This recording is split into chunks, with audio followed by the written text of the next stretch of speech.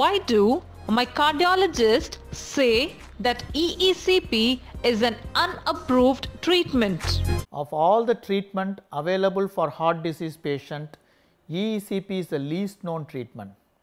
When compared to other standard revascularization procedure or treatment procedures like bypass surgery and angioplasty, EECP is not well spoken or discussed. The reason is the cardiologist when they discuss about the treatment option available to you, they do not include EECP as an option. The main reason behind is most of the advancement and recommendation guideline and inclusion of EECP in cardiology textbook all came only in 2014 to 2016.